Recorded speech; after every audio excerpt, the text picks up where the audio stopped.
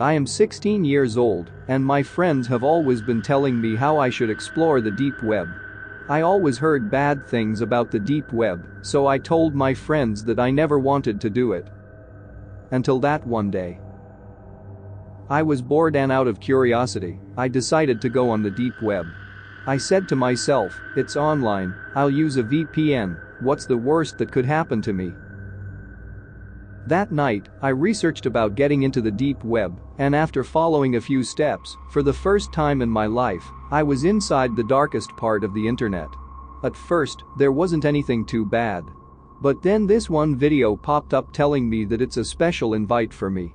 So, I clicked on it, and it brought me to a page with a blank black screen. I sat there for some time and it's still a blank screen. So, I decided to exit out, but right before I do, a person appeared on the screen. The person had a mask on. They showed up a sign that said, Who should we kill next? The chat box went crazy, and everyone was naming different people's names. Then the video ended. I said to myself, this is so stupid and waste of time, they were just trying to scare people. So, I went to exit out again, and like before, another video came up. I stared at the video and thought to myself, this looks very familiar. As the person holding the camera moved closer to a house, I realized that it was someone I knew. It's someone I used to go to school with. His name was Ben. The person went to the door and knocked on it. I was like there's no way this can be true. Ben only lives with his dad. The door opened. It was Ben's dad. He said, how can I help you so late at night? And the person behind the camera stabbed Ben's dad and walked inside the house. With my face left in complete shock, I quickly grabbed my phone and called Ben. No answer. I called him again and he picked up. I told him that somebody was in his house. He laughed at me and told me he would call me back later because he was busy. But right before ending the call, he heard a noise downstairs. He then started to get a little scared and asked me how I know someone is in his house. I told him, I went on the dark web and the person was recording themselves in your house. I even told him that they killed his dad. Scared to death he went under his bed to hide and call 911 as soon as he can. Ben was unable to make the call as the person with the camera entered into his room and looked around for him. They couldn't find Ben, so they started to walk out of the room. Right before they did, Ben's phone went off. The guy behind the camera looked under the bed to where Ben was hiding and put the camera down. I heard Ben screaming through the phone and then the phone call ended. I tried calling back several times, but no answer. Later that night, police arrived and investigated Ben's house. They found out that Ben and his dad was killed. I felt like I should tell the cops, but I felt kind of responsible for their death, so I decided not to say anything. I told myself to stay off the deep web. It was nighttime and I was getting ready to sleep. But before I went to bed, my computer turned on to that blank black screen. I went over to my computer and tried to shut it off, but it wouldn't turn off. I started to panic and tried disconnecting it, but it still stayed on. Then the camera came up. And this time, it was at my house. The camera turned to the man in a mask, and he put his finger over his mouth and said nothing. I ran downstairs to tell my parents and they called the police. The police came and they unfortunately didn't find anything. I promised to never ever go on the deep web again. It's still hard for me to sleep to this day. The person was never caught. Who knows where they might be.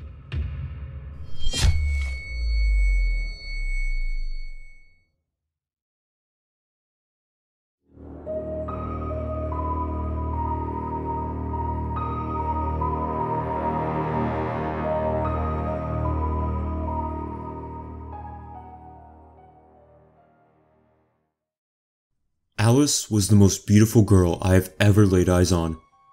She was sweet and kind with confidence that shone brighter than the stars in the night sky. She had the milkiest white skin. Her hair was jet black, with emerald green eyes and natural blood red lips. The day she walked into my life, I knew we were meant to be together forever. It took me months to work up the courage to say hi to her, and when she said hi back, I was hooked. I did everything to make sure she knew how much I loved her. When she was sick, I would watch over her all night to make sure she was alright. I would spend hours just stroking her hair. She loved it. I made sure she started every week with a smile, with a fresh bouquet of flowers sent to where she worked. She was loved, and she loved me back. But then, things began to change. She started becoming withdrawn. She stopped leaving the house, wouldn't go to work. She wasn't going to tell me what was wrong, so I had to find out for myself. It didn't take me long to find out she was getting unwanted calls from a guy claiming to be madly in love with her. He was bombarding her day and night with phone calls sending her creepy letters saying if he couldn't have her, no one could. It was my job to keep Alice safe, and I promised her I would protect her, so I decided to stalk her stalker, and it didn't take me long to find out where he lived. He lived in a dingy apartment in a place known as Skid Row. I watched his movements. I watched his obsession grow. It was then I knew I needed to act. I broke into his apartment, knowing he was busy watching Alice. As I looked around his apartment, his obsession was a lot greater than I expected. He had pictures of her all over the place. That night, he came back into his apartment, not knowing I was lurking in the shadows.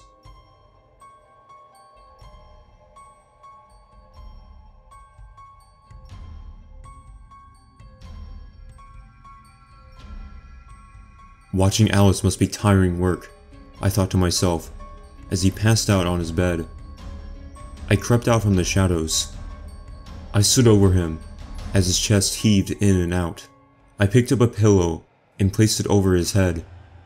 By the time he knew what was happening, it was already too late, as he struggled for air, and before I knew it, his body went limp. It didn't take long for Alice to get her life back on track. She was back to her bubbly, happy self again. As I watched over her as she slept, I couldn't help but think, did she know how lucky she was? I stroked her hair as I leaned in to whisper in her ear. Soon, my love, you will finally notice me and realize how much I love you.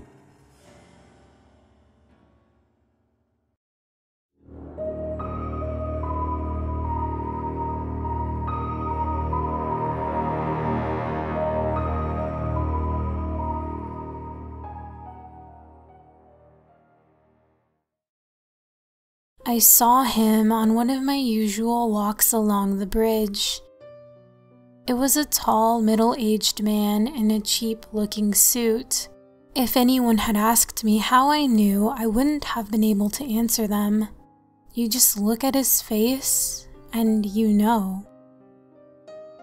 I approached him carefully, not wanting to spook him. Sir? He turned around quickly, his face drenched in sweat. Who are you? He replied nervously. I'm Mandy, I answered with a smile. You should move away from there, I said, pointing to the edge of the bridge where he was standing. It's pretty dangerous. He looked at me for a few seconds before speaking again. What are you doing here? He sounded out of breath. Oh, I come here often. I wouldn't say it's my favorite place in the world, but it's quiet, and I like that. I smiled at him again. He shuffled his feet and looked down at the water below. You really shouldn't be hanging out in a place like this. Your parents must be worried sick. He sounded calmer, but wouldn't meet my eyes. My parents know I'm here. I spoke softly. They know I like to help people like you. He turned to me as a look of honest surprise washed over his face. What? I looked at him unblinkingly. I know you want to jump, but you're scared. And you should be. The look on his face changed to one of uneasiness. He tried to say something, but nothing came out. It will hurt like nothing's hurt before, and that's just the fall. The aftermath is even worse. His eyes widened and he shouted, Get out of here! You don't know what you're talking about. He sounded more alarmed than angered. I continued to look at him as he breathed heavily and pointed to the pictures and flowers attached to the railings just behind him. Actually, I do. He looked in the direction I was pointing, taking a few seconds to process what he was seeing. He then turned around slowly to look at me, pure horror on his face. How are you? At that moment, I knew I had saved him. At least for now. He stood there for a moment longer, frozen, unsure of what to do. Then he did the best thing he could, simply turned around and ran. Fast. I dropped my shoulders and breathed a sigh of relief. I walked over to the railings and just sat there, looking at the pictures. We miss you, Mandy, was written on a big card, decorated with hearts and flowers, right next to my yearbook photo. Gone too soon, said another, surrounded by teddy bears, clothes, and lots and lots of flowers. It all looked so pretty. My name is Mandy. I was 19 when I died, and now I try to help people live.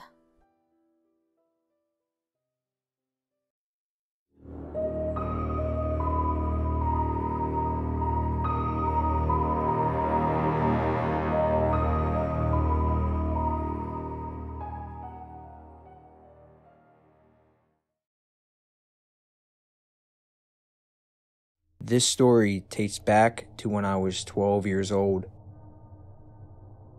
I was finishing up school. I called my mom and dad to come and pick me up, but they both had to stay longer for work than expected. So, I had to walk home. I usually don't mind walking home, but that day I was not feeling so well. I didn't even want to come to school, but my mom made me. I expected to be walking home a lot more this year due to both my parents starting new jobs since we just moved to a new town. We had this really weird neighbor. He didn't seem he was fully there. He would come over and talk to me about my day and my plans. I found it normal because he was our neighbor, but he only talked to me, not my parents. And he was 34 years old which made this a little weird. My parents are only a couple more years older than him, so why doesn't he just talk to my parents? I honestly didn't think of it too much. But every time he talks to me, he would do it when my parents weren't looking. And when my parents came in sight, he would walk away. I was walking home, and in order for me to get to my house, I have to pass my neighbor's house. He had a disgusting and creepy looking house. The house smelled awful when you would go near it. So he would always come to our house. The house looks abandoned and looks like it hasn't been taken care of in years. I was approaching his house. I felt uneased and a little scared. So as I got closer to the house, I FaceTimed my friend. Maybe the man wouldn't bother me if he knew I was talking to someone else. That's what one gut said. My other gut said that there's nothing to worry about. Like mom said, you are going to meet a lot of weird people in life. My friend's parents worked around this area, so they were pretty familiar with it. I showed my friend the house, and then I see the man. Who are you talking to? Just one of my friends. The man asked if I can turn off the FaceTime so we can talk. So I ended the FaceTime call with my friend, but right before I ended it, my friend's parents' face were in shock. The man then asked where my parents were. They were working late today and won't be home until a while. The man's face lit up in a long, creepy smile. He then said, I got a dog. Do you want to see it? He knew I loved dogs. I felt a little weird, and I felt pressured in saying yes. But before I did, he started walking me back to his house. I felt very uncomfortable. As we were walking, I looked down on my phone and saw my friend's text. He said, Don't go anywhere with that man. That house is owned by a lady, no man. It felt a little strange, but maybe he was family. Just as I was going into the house, my mom yelled my name. Where are you going? I quickly ran back to my mom and told her what happened. She called the cops, and the cops investigated the neighbor's house. They found out the smell was coming from the lady who owned the house. She was killed by the man. My mouth dropped when I heard that, and there was never no dog. They never caught the man. I never walked home alone again.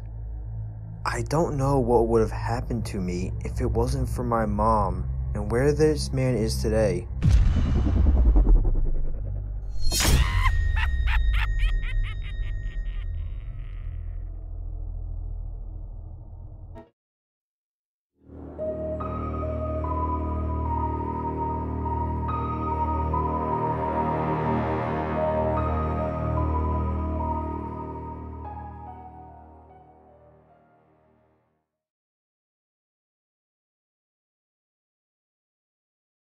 It was every family's nightmare.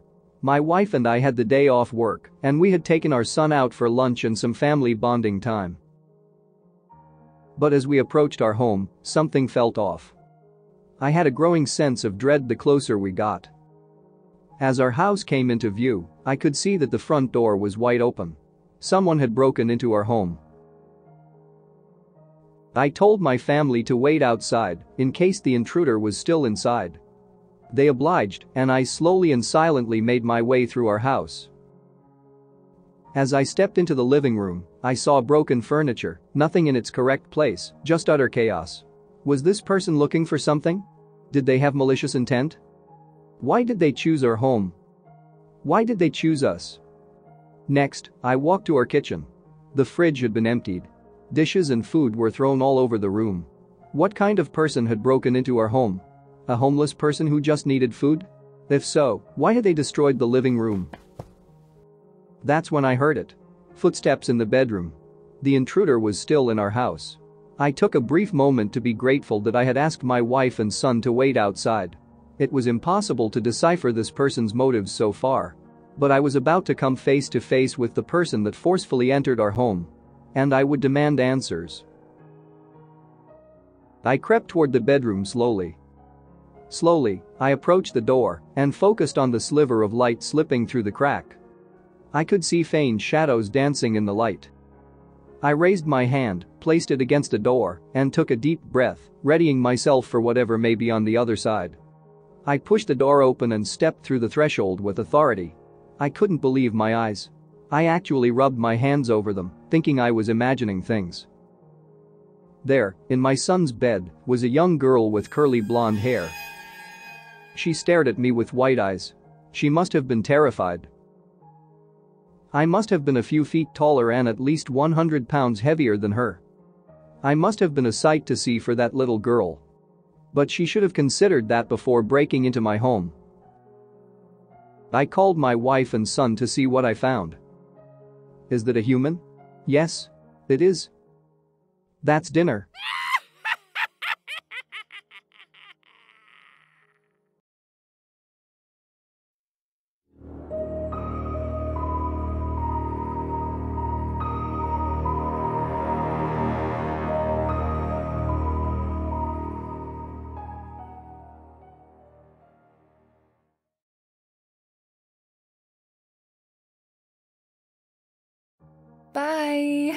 Send me a text so I know you got home safely. Sure thing, babe. Love ya, was Maria's drunken response, stumbling out of Lorna Jenkins' 21st birthday party almost three hours ago. I still haven't heard from her. For some girls, exchanges like this are just virtue signaling, obligatory chatter they don't intend to actually follow up on. But not for me. When I tell my best friend Maria to let me know that she's made it home, I say it because I care. I mean, on one hand, she might have just sent me a reply that got lost in transmission, but then again, she might also be tied up in the trunk of an Uber, being driven out of the country at this very second. Hun, I know these texts are annoying, but please just humor me, okay? I text her hastily. For peace of mind? Still nothing. Oh, if only this girl knew how much she was stressing me out. It isn't like you not to respond, Maria. You know what happens on the news. This could be the difference between life and death. More radio silence from her end. My heart is in my mouth at this point. Agitated, I decide that it's time to take drastic action. Babe, you're scaring me, I pleadingly message.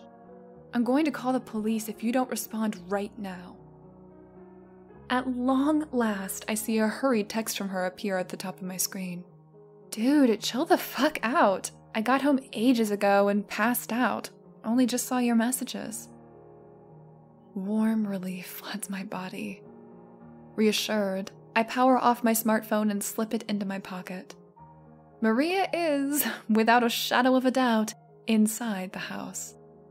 Thank fuck. I've been waiting outside it for hours.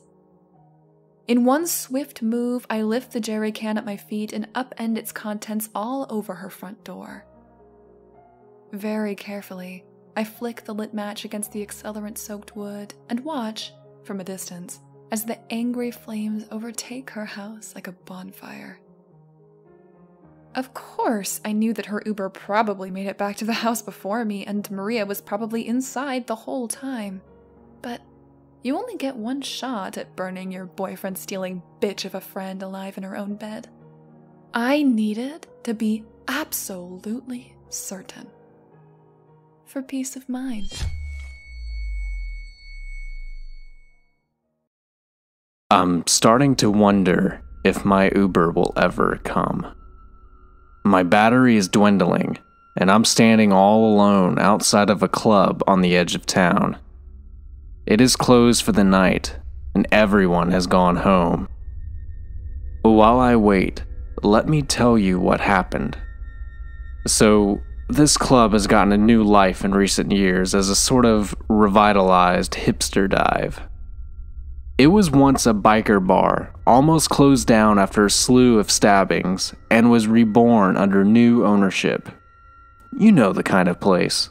PBR and Fireball for 5 bucks, a couple of old school arcade games, a string light on a patio, American spirits for sale, and a cigarette machine. If you got a dollar for every beard, glasses, and plaid combo you saw, you'd walk out of there with enough money to hit one of the classier joints in town. My friends and I decided to stay until last call. The bar staff were out of there quickly as we exited, and I realized I had left my cigarettes on the back patio. I told my buddies not to wait up, and I jumped the fence, grabbed the pack, and came back out to an empty parking lot. The silence was eerie. I couldn't even hear the sounds of the city. I made my way across the lot towards the car and fished my keys out of my pocket. As I got closer to the vehicle, I clicked the unlock button on my key fob. The interior dome light slowly turned on. Did I see what I think I just saw? In the back seat? I thought I saw a shadowy figure there, but I was too far away to be sure. I instinctively clicked the lock button. The lights went out. About 20 yards away, I clicked the unlock button again, and the dome light slowly lit up the inside. There was no mistaking it. Someone was sitting back there. The silhouette was all wrong, though. Clearly human of some kind, but like the skull was 50% bigger than average. The head was crooked. The eyes were white and big, like glowing ping pong balls, as the thing in my back seat smiled at me and stared. A large nose parted the veil of black, wet hair that cascaded down its face. I instinctively locked the door with the remote, and the car went dark. I darted back to the club, looked over my shoulder the entire way, but nothing followed. I was more than a little buzzed, and past experiences had led me to mistrust the police, so I decided to get home and come back during the day to get my car. Surely, this was just all my imagination, right? I received an alert on my phone that my driver would be arriving soon. The driver had long black hair, and their face was obscured in their photo. Across the parking lot, my headlights turned on.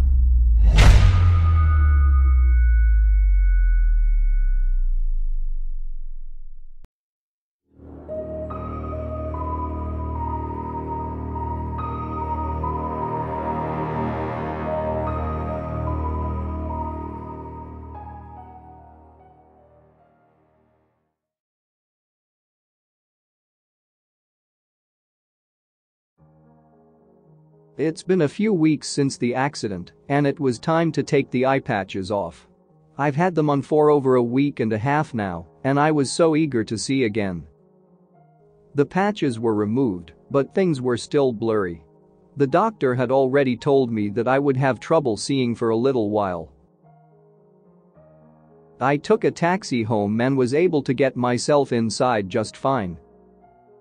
I decided to take a nap that when I woke up, my eyes would be a little more well adjusted. I fell asleep on the couch and ended up sleeping through the whole night. I woke up the next morning and my sight had vastly improved. I went outside to check my mailbox. I made it out the front door and noticed my neighbor staring at me. I wished him good morning. No response. John just kept staring at me. Weird. I thought to myself before walking to my mailbox. As I was getting my mail, a car drove by and the driver was staring right at me. He followed my gaze to the point that I thought he was going to crash his car. This scared me, and I quickly retreated back into my house. I tried to shake what just happened so I decided to turn on the TV. It switched on as I was in the kitchen getting a cup of coffee. I thought that I had accidentally muted it because there was no noise. I looked over and the news was on, but the anchors were just staring into the camera. As I walked closer to the TV, the anchors followed my gaze. No words, no expressions on their faces. Just lifelessly staring at me. Scared, I grabbed the remote and turned on the Netflix. I turned on a movie to try and get my mind off of this. Again, just silence. I looked back to the screen to see all of the actors just staring at me with the same blank expression on all of their faces. What the hell is going on? I shouted. This was a scripted movie that was filmed years ago. How is this happening? Their gaze followed me all the way around the room until I finally turned the TV off. It's now been two weeks since the patches came off. I'm sitting alone at my computer afraid to look at anything that may include people to look at me. No one has spoken a word since the patches came off. No one has done anything. Except stared at me. I can't do this anymore. The stares are too much. I even tried to put the patches back on, and I can feel them looking at me. Please make it stop. I look down at the fork in my hands. This will be the last thing these eyes see.